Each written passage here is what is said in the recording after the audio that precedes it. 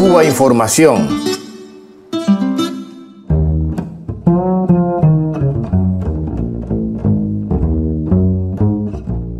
Incumpliendo su promesa, el gobierno de Donald Trump decidía no desclasificar varios cientos de documentos sobre el asesinato en 1963 del presidente John Fitzgerald Kennedy.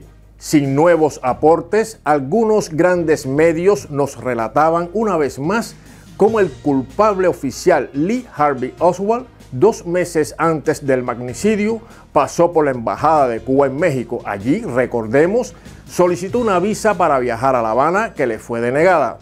El general Fabián Escalante, jefe de la inteligencia cubana durante años, considera que la CIA buscaba que Oswald, su agente, viajase a Cuba para inculpar posteriormente a La Habana del ya planificado asesinato de Kennedy. Recuerda que de manera paralela la CIA tenía en marcha la operación Amblash para asesinar a Fidel Castro.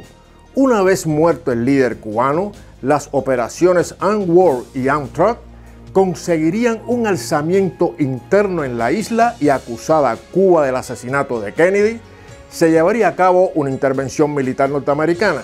Para Escalante, la hipótesis más plausible es que el magnicidio fuera la respuesta de la CIA y el Pentágono a la política poco contundente de JFK con respecto a Cuba, tanto en el fallido intento de invasión en 1961 como en la crisis de los misiles de 1962.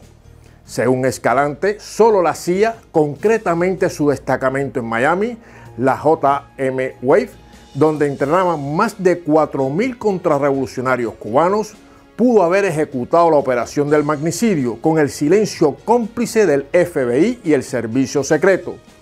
Por cierto, ¿Por qué ninguno de los grandes medios occidentales se ha interesado por la valiosa información que puede aportar Fabián Escalante? ¿Por qué será?